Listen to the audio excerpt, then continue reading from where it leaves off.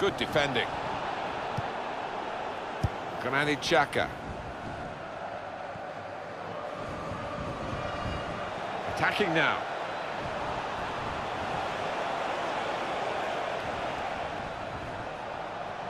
Not a good challenge by the defender.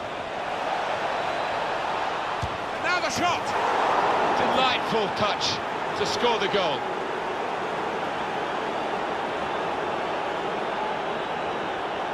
Well, there is a big difference between these two teams, and that goal has meant it's reflected in the scoreline. I think uh,